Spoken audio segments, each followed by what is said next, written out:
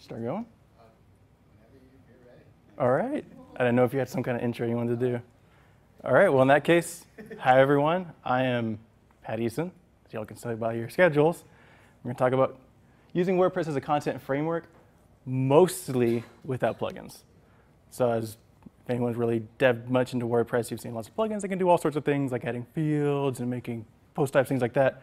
We're going to talk about doing that without having to use plugins to keep your themes a little smaller, a little more compact, and also really how to think in terms of how WordPress wants to organize your content.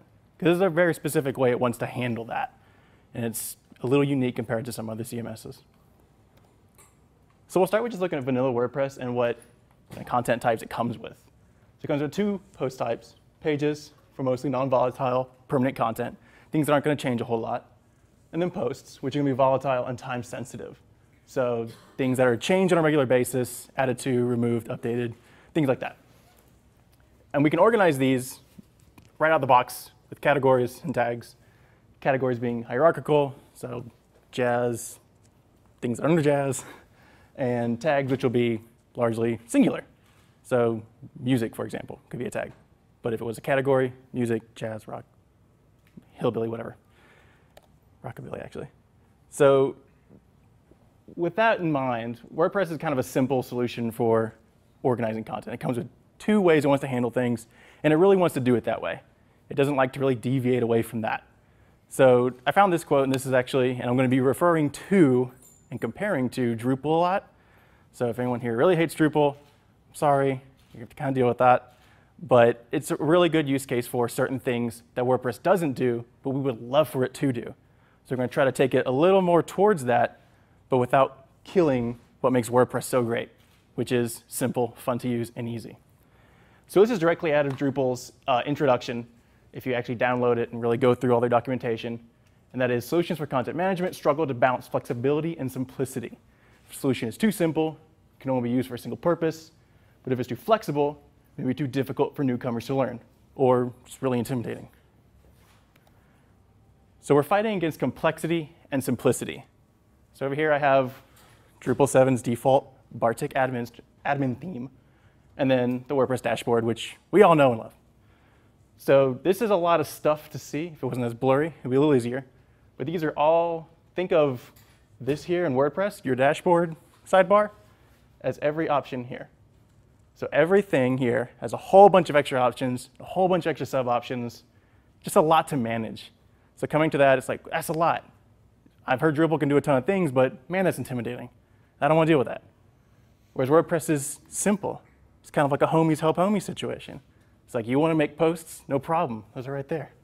You want to make pages? No problem. Those are right there. You want to see what's going on? No problem. It's right here. Why would we make it complicated?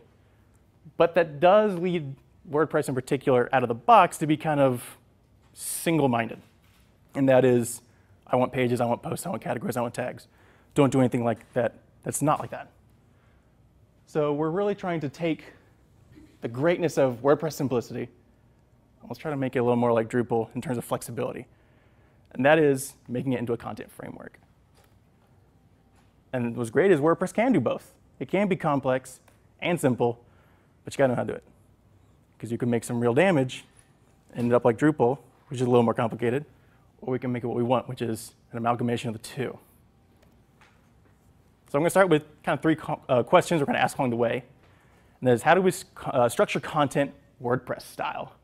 As I said, WordPress has a specific way and wants to handle content, both posts, taxonomies, things like that. Uh, we're going to look at what data points we have and how we should properly organize them into that content structure. And also, how do we really implement that data in a usable way, both for administrators and for ourselves as developers and designers? Like, what good is it to us if it's no good for the administrators? What good is it for the administrators if it's no good for us? We really got to balance those. So let's go back a little bit at our vanilla WordPress content types, structure. And we just want to kind of go a little further than this. So we've got posts and pages, posts and pages. So we've got those two buckets of stuff, but we may need another bucket of stuff. So let's say, for the sake of argument, and I'm going to show you it anyway, we're going to make a, a dog kennel kind of site. So we need a bucket for dogs, we need a bucket for cats, we need a bucket for whatever's. Well, we also need to be able to filter those too. So if I have my pages bucket, I can filter that by tags or categories. If I got my post bucket, I can filter that by tags or categories. This is bucket filter. But if I got dogs, what am I going to filter that by? Tags and categories doesn't really make much sense. And since those are related to those two, I'm kind of cross-pollinating things that are unique to those particular post types into that. So that's no good. We're going to want another taxonomy for that. So that's where WordPress custom things come in. Now, WordPress likes to use the term custom for anything that's not default. In particular, we're going to look at custom post types, custom taxonomies, and custom fields, or post meta. Now, if it helps, if you're like a real hardcore developer into MVCs, think of these as models and the attributes and associations they have. So post type may be your model, if we had a dog model. And the association may be breeds. That's how our dogs are going to relate to each other. And our attributes may be fields like weight, height, eye color, things like that. So if you're really into models, that's how to really think of those as kind of relating to each other. So this is about what we're going to put together. Um, it's already put together, but we're going to just uncomment things so you can see how it works uh, within kind of the WordPress environment. We can create the WordCamp kennel. We have a taxonomy here that we're going to deal with categorizing things by. We've got our post type, which are going to be our dogs. Look at them, lots of dogs. And then we'll add some fields so that we can specifically add additional information that wouldn't be traditional title and content. So first, let's go ahead and head over to the little dashboard we got. Got a WordCamp kennel. Excellent. Yes, I know. And we'll check out our sidebar.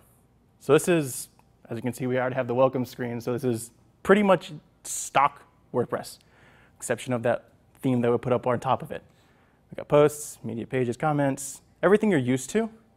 So if I were to come in here as, say, charged with, you know, you got to put dogs into this kennel website, but I don't know what's going on. I've never used WordPress before, and I don't really know where to put those at. How would I do that? For the sake of just understanding from a content architecture, I don't know. They could technically be pages, They could technically be posts too.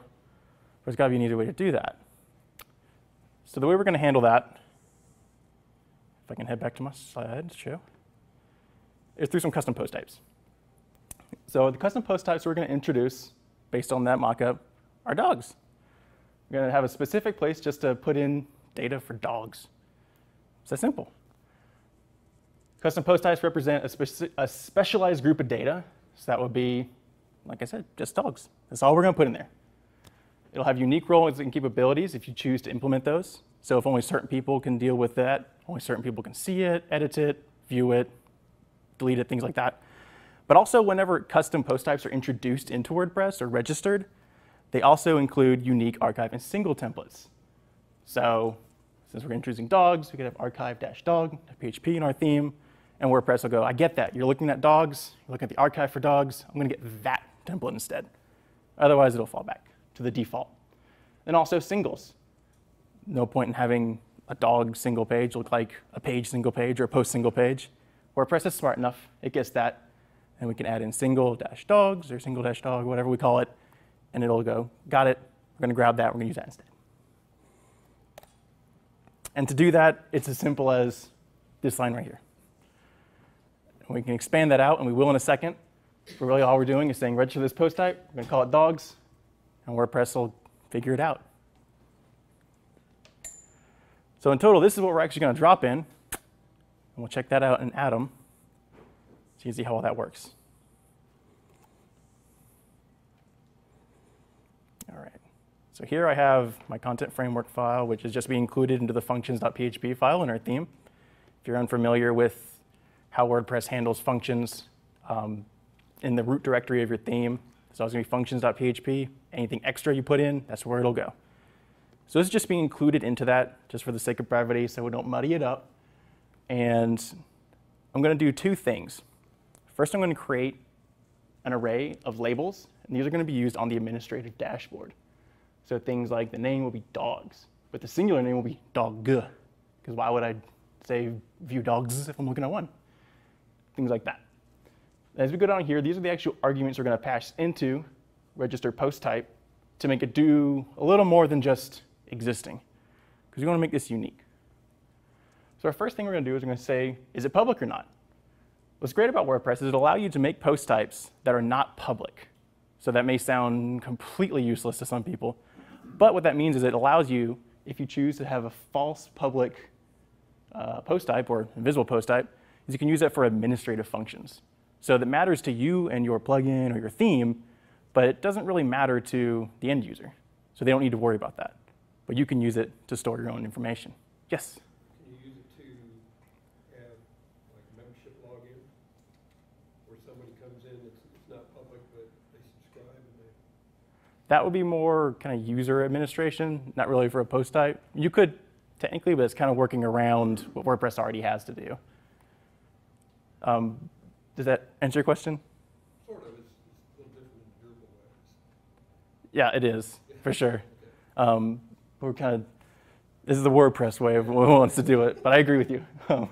um, next up, is it publicly queryable? It's very similar to whether it's public or not. Basically, can I access that from the front end? So if you want something to be modifiable on the dashboard, but not modifiable on the front end, or visible on the front end, no problem, you can do that too. Show UI and show in menu are going to be very similar.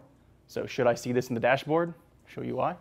Should I see this in the admin bar? So if I go to, so plus here, choose to make something, can say whether or not we want that to show there. Now, this gets very granular after a while, but there's a lot of use cases for certain situations depending on what you're trying to implement. Uh, for this situation, though, we're just going to say yes to everything just to get it out there. Um, query vars, including query var for URL querying. So if you don't change your URL permalink structure, you can say website dog equals one, you can get your dog that equals one. Our URL slug, this is going to be relatively important. Rewrite, array, the slug we want, and what we want it to be called. So if we are making this post type, we're calling it dog. We want it to show up as dogs, no problem. Change the URL rewrite slug, and that as well come up on your permalink structure. And then for the most part, it's all pretty self-explanatory capability types. Uh, WordPress, since it's built around the idea of pages and posts, I was like, how are we going to model this?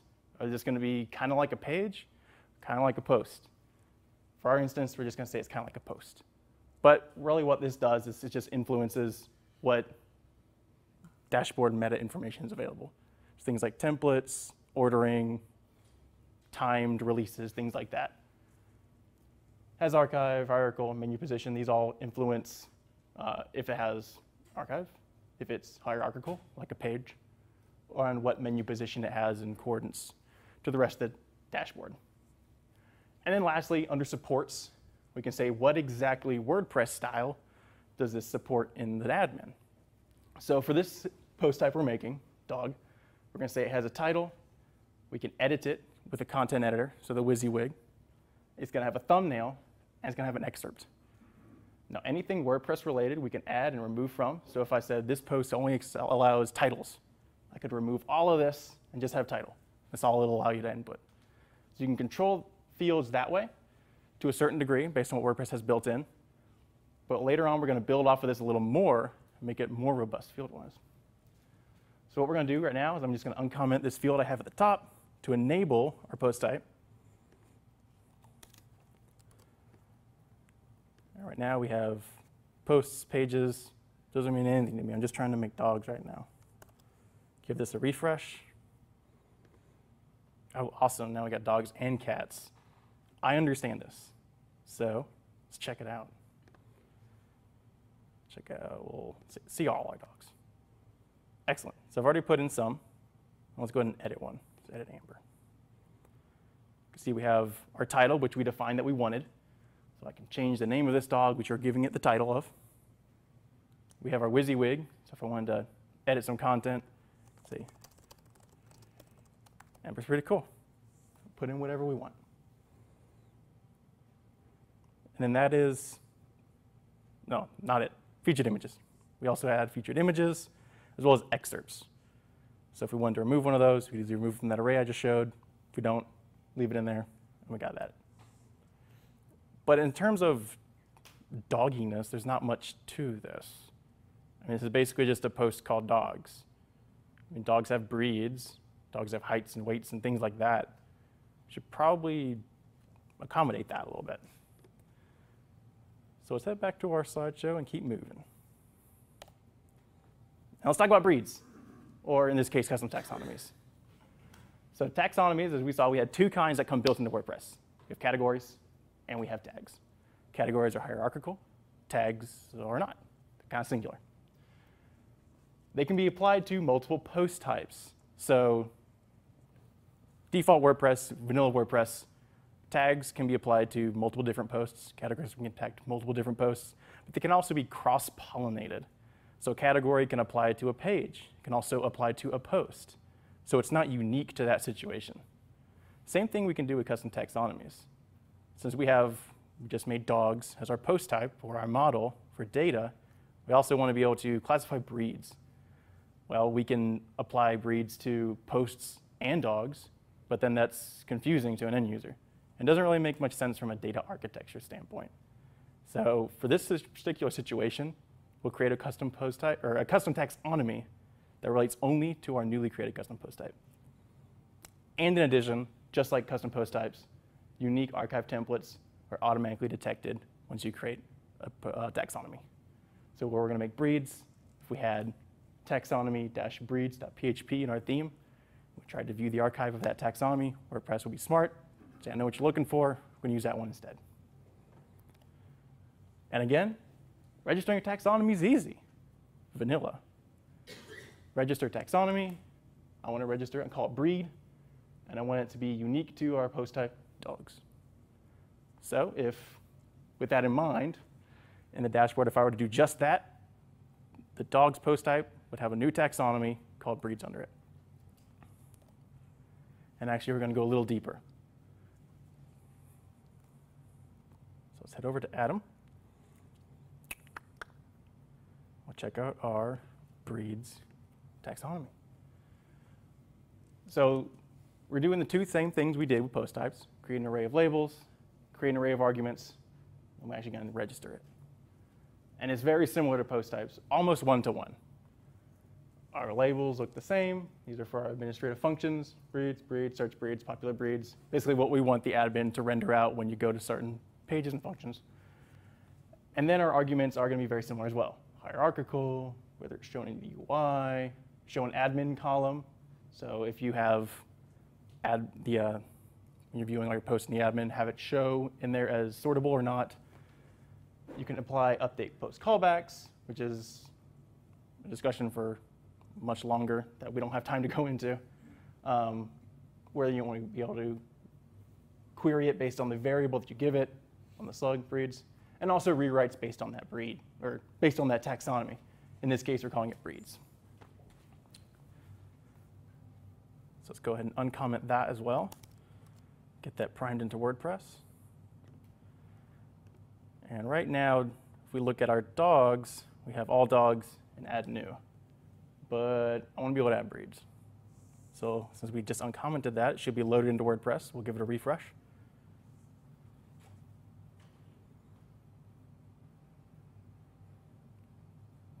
Come on.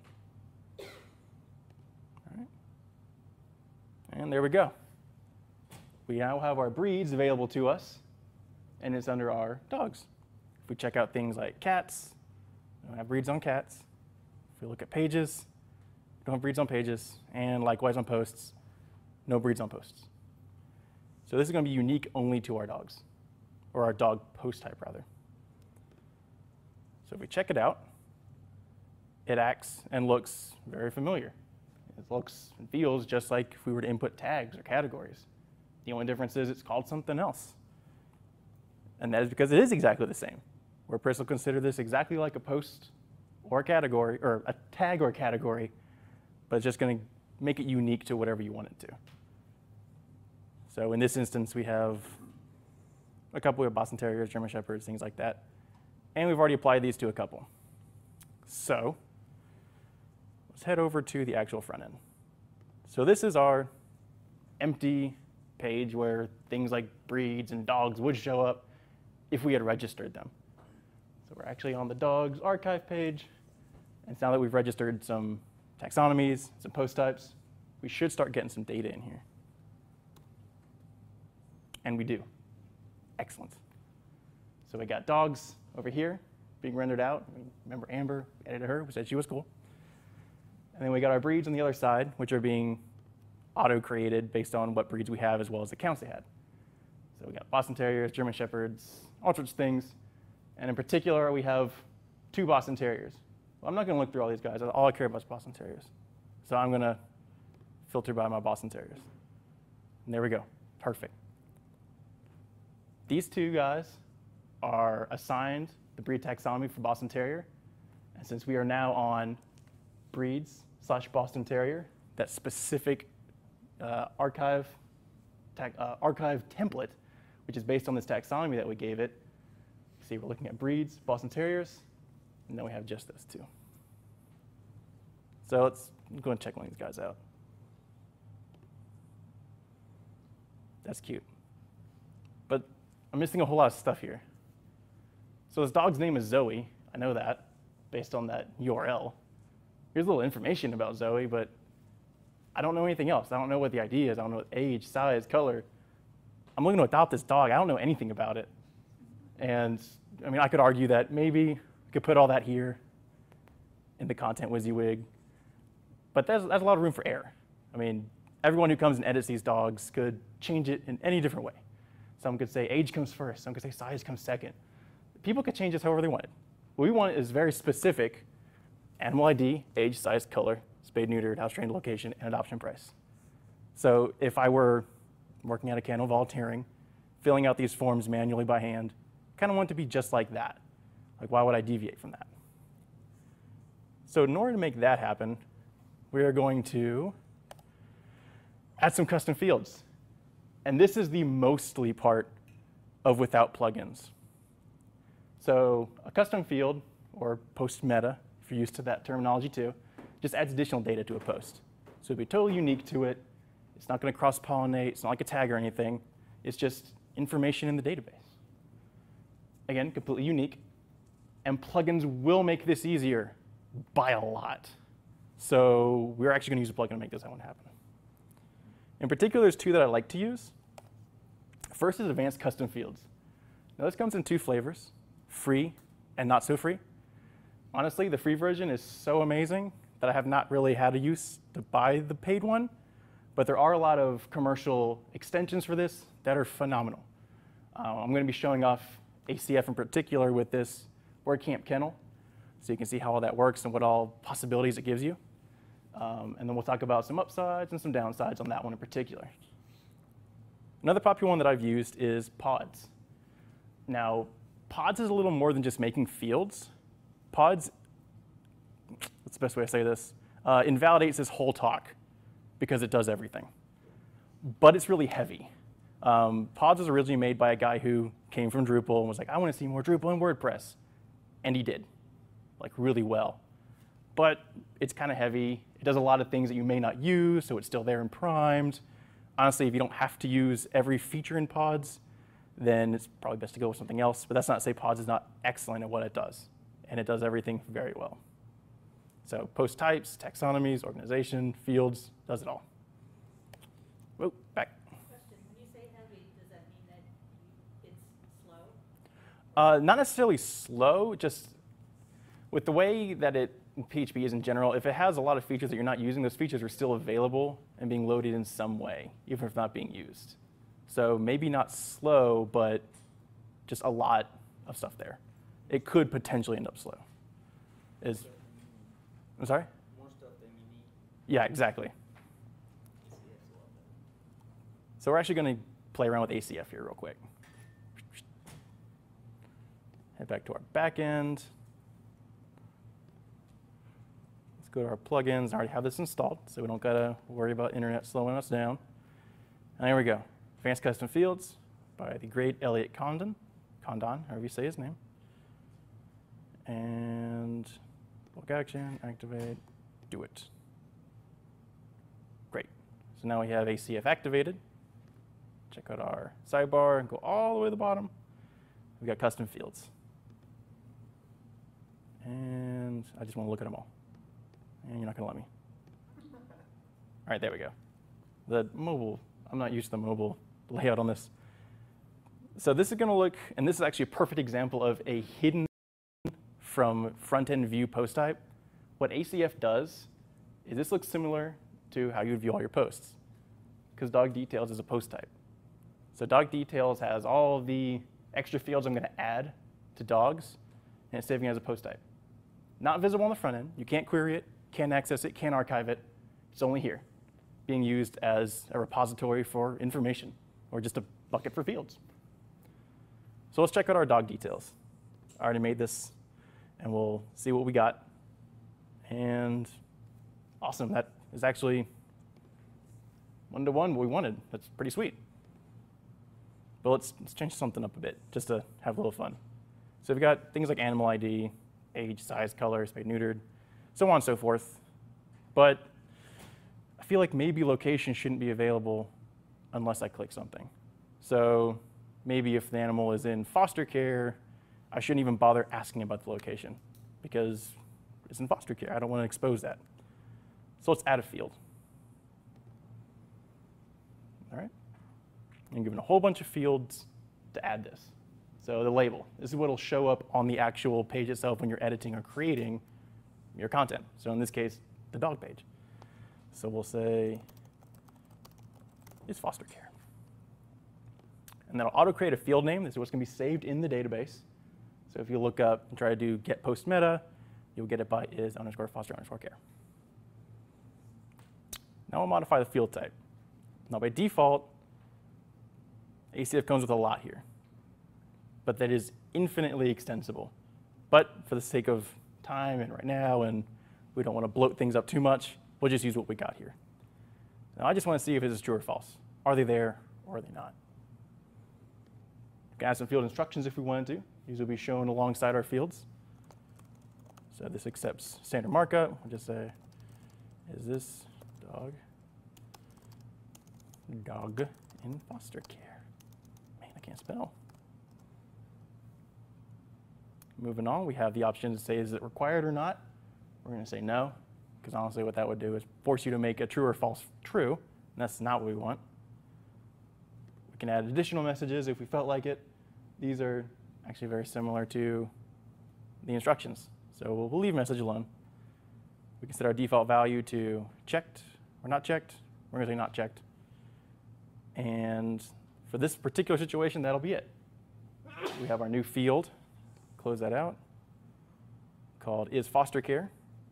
Show up under adoption or under adoption price at the very end. But we're going to add some conditional field uh, statements here so that is foster care is directly related to location and back and forth. So with that in mind, let's go ahead and drag this up. It's all drag and drop on this particular sorting. So I'll say, uh-oh. Okay, it doesn't like to do it in mobile. That's, come on. All right. So sorting in mobile does not play very nice, as we just found out. um, but that's okay. We'll make this work. So right now we want location in particular to only show up when we say a dog is not in foster care. So we'll edit location. We have all this information we have about location. We got field label, field name, field type is that is a select type. We've got some information here, kennel or foster care, but that doesn't really matter now. So we're going to get rid of that. So our only option is we'll say kennel and facility. It's not required. So if it's there, we can have it. If it's not, not a big deal. And lastly, we're going to add some conditional logic. Now, this is kind of like the secret sauce to ACF, I feel, and that you can make some really robust content curation fields based on what values currently exist and what values don't. So conditional logic is yes. And we're going to say this is related to is foster care. Now, is this equal to checked? Is this not equal to? We're going to say not. So if foster care is not checked, I can choose a location. If it is, it should not show up. So we're going to say show this field when all these rules are met. Excellent. Now we'll go ahead and give this a save. There.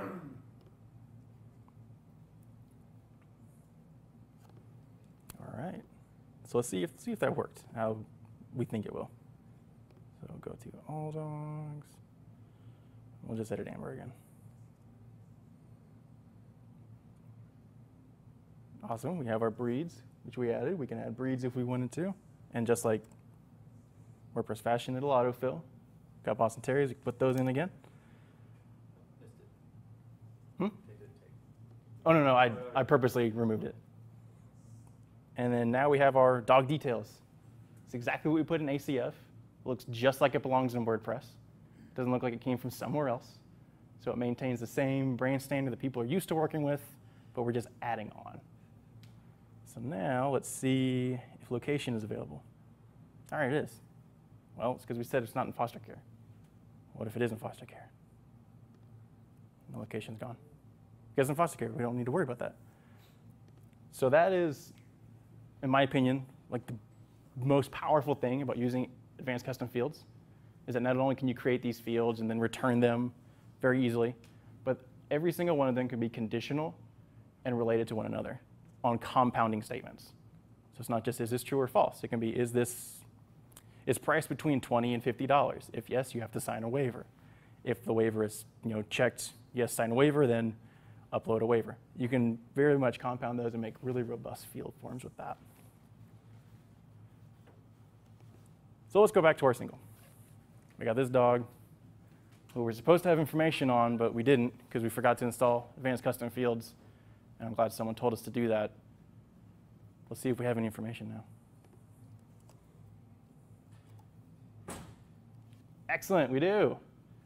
And we can change this all manually if we wanted to. So let's check out things like age one year. Oh, that dog looks a lot older. Let's go ahead and change the age just for the fun of it.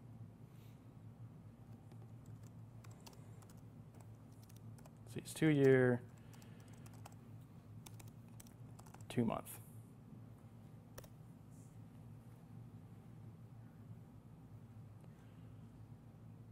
All right, according to our back end, this dog is now two years, two months old. What does our front end say? Two years and two months. Excellent. So that's a brief breakdown of advanced custom fields, how you can use that to make some more extensible post types. And honestly, that's it. I mean, that's all it takes to really make WordPress into a more powerful content framework. So you can go make some cool stuff with this, make better administrative content curation experiences for your users, and better experiences for your developers and designers to make awesome things, really, features, mockups, whatever. You know, possibilities are endless. Well, that's it, guys.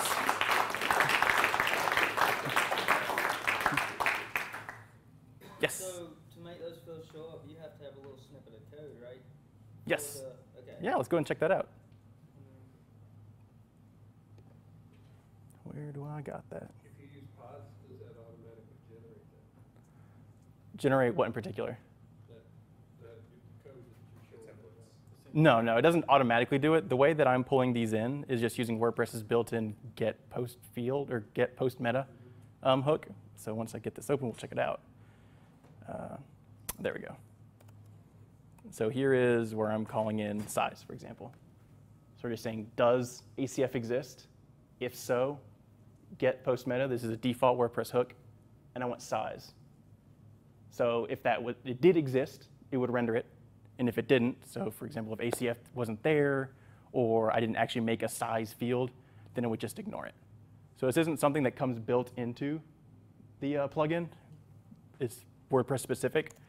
Now ACF does have its own way of getting things, uh, which I feel is kind of unnecessary in a lot of situations. But you could just say get field size, and it would do the same thing for advanced custom field situation. So below would be how ACF would want to do it, and above would be a more agnostic method. Any other questions? Are you gonna have these available? Yes. They're not available right now. I'll put those out. Um, I'll tweet it. White Open Tech will tweet it. Uh, they'll be available, definitely. Yes. You ever done anything with, um, with custom post types and custom taxonomies, and et cetera, with APIs Um, with the WP API, not in particular, I've used it for things like Twitter um, grabbers, scrapers, um, but never like. I really can't think of another like a like. theme is what I'm getting at, like a, a, a front-end JavaScript powered theme that pulls from the database and that sort of thing. I mean, that's a perfect use case for it. I mean, really, the best way to think about this is it's just a way to section off and organize content so that's easier for you to get a hold of. So it's less taxing for searching through, like, I want all posts, but I only want these ones, but only in this situation. And it's a lot for the database to handle. It's a lot for you to have to think about. So if I'm like, I just want Boston Terriers, like, that's easy at this point because we put all these in. So yeah, perfect use case, man. Yes? When you register a new custom post type, WordPress uses that little default push pin icon. Mm-hmm. What's the process of changing that? Real easy. All right, so let me bring up the Dashicons. Let me get a name for these. Oh no. We will solve this. So here we're defining our custom post type. And really all you have to do to change the icon, you can use WordPress's built-in Dashicons, which is probably a good idea in most cases. And that would be as simple as just adding an extra argument here, icon. Name of Dashicon. And then that would then load that glyph from their Dashicon library.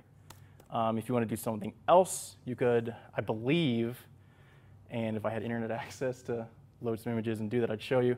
Uh, you could include a URL in here as well, and it would instead load that URL into that. Or you could always modify the administrative CSS, and that'll do it too. It's not menu dash icon.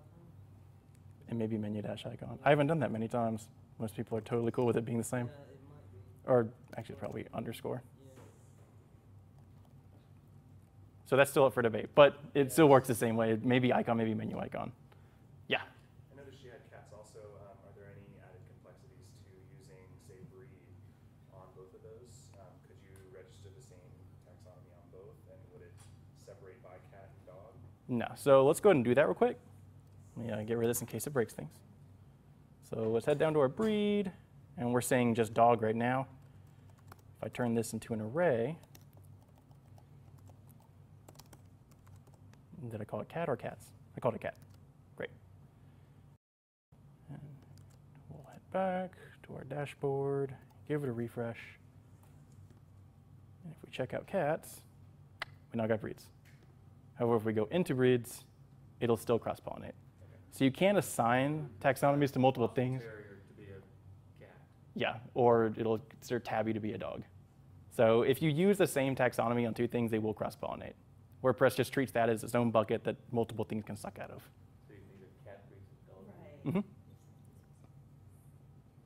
Yeah. Yes. So, um, you're kind of using like a mix of two different methods to, you know, accomplish everything, like with advanced custom fields, and then, um, and then some things you're just registering through the functions file. hmm Is there any like performance benefit on doing it like all one way or the other, or is it, does this just kind of make more sense to do? The performance benefit, honestly, if I were to have done it all with just registering things like WordPress style hooks that are already existent or extant, then it would be more performant. Maybe not like glaringly more performant, but it would be simply because I'm not requiring additional functions or features to make things happen. Uh, the only reason that I used ACF in particular for this example is super easy. And also registering and saving custom fields to the database on WordPress isn't quite there yet in the same way that post types and taxonomies are. So it's kind of a lot of back and forth to make it work. It's a little chunky.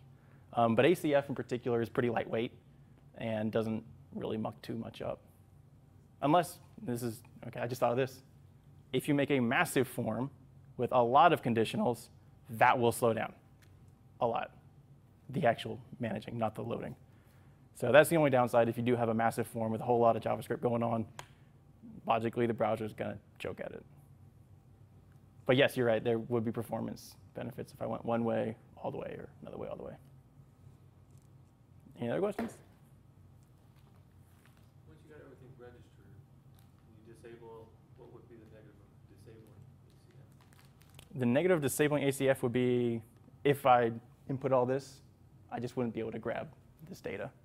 So the data would still exist in the database because we're, ACF saves all the data itself, so like age size and all that, as well as the field types that I made. So we saw that ACF has dog fields. That would still exist. So if I installed ACF again, they'd be available. I just wouldn't be able to access it. It's not registered permanently, it's just. Right. registered as long- It's registered in ACF. Mhm. Yeah. Can't Yeah. you, e- can't you export ACF to a PHP Yep. file and include it into your Mhm. or whatever? Yeah. And So would it register? I've never done it that way, but I just seen the option. But would it register all the data? yeah. So the way that works, and I don't know if we'd have time, but I Say with a plugin. guess we totally do. Yeah, so I don't have time to put it together, but basically what um, Clifton's talking about is ACF, if it's installed as a plugin, we can edit it just like a plugin, that's cool, but it has to exist there. However, you can export advanced custom fields as a light version with just a big old array of all the fields you created and include that directly into your theme. So right now, if I'm, I don't know, what, pretend I don't know what I'm doing, I was just told to add dogs. And I come through here and I'm like, ah, dogs don't do everything I want. I want to add hair length. Well, I see custom fields here. I'm gonna check that out. Oh, great, I can edit dog details. Blah, blah, blah, I can break things. So to avoid that, right here, directly under custom fields, we have an export option. So if we choose to export this, we can say what field groups we want. Yes, we want our dog details. It's our only field. And it gives you detailed instructions on how to export and use these. So in particular, we're going to export to PHP, and it's just going to spit us out a big old PHP array that will then, as it says, paste into your functions file. So let's export to PHP. Yep, that is a big array. So let's take it. Go into our functions file. We'll just slap it in there. Don't think about it too much. And there we go. See, we got things like color. See, it's type text, all that. Give it a save. And because I'm feeling a little crazy, what I'm going to do is I'm just going to delete all the fields we just made. Done, gone. No more fields. But we exported it. So if we do go back to our dogs, we'll edit Amber. You see it's still there.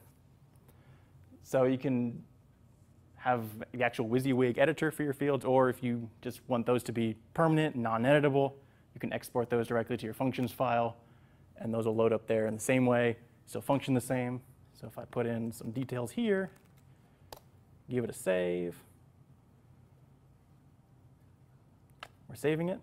Sounds great. Let's actually view it. Yeah, there we go. It is saving what we told it to.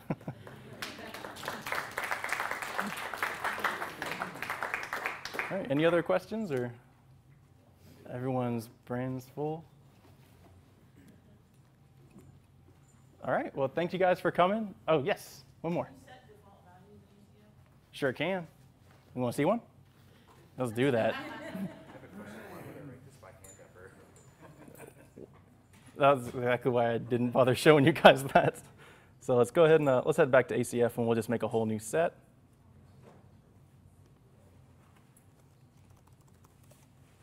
Call it default. Create a new field. We'll say this should default. And should also autocorrect. So we're just making a text field, basic text field, like everyone's seen. And for default value, we'll say cool beans. So every time I load a page that requires this and doesn't have it, it should default to cool beans. Check out Amber again, edit.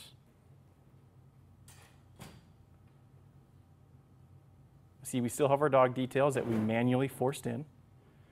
And then down below that, oh, hold on, I missed a step. I didn't force this to go to dogs. So you have to force the location. I totally forgot about that. So now our default value fields will go to post type is equal to dogs. Where do I save you?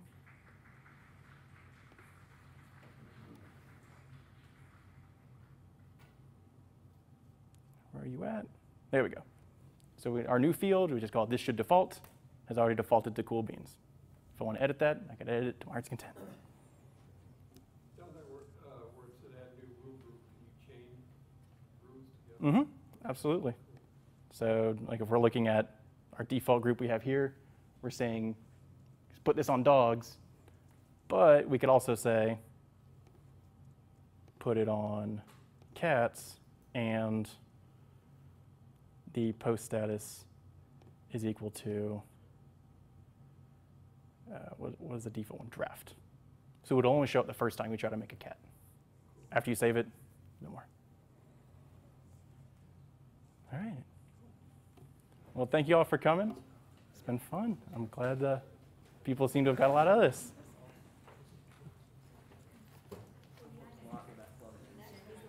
I used to use pods a lot, but then like I did, it was for a, like a hospital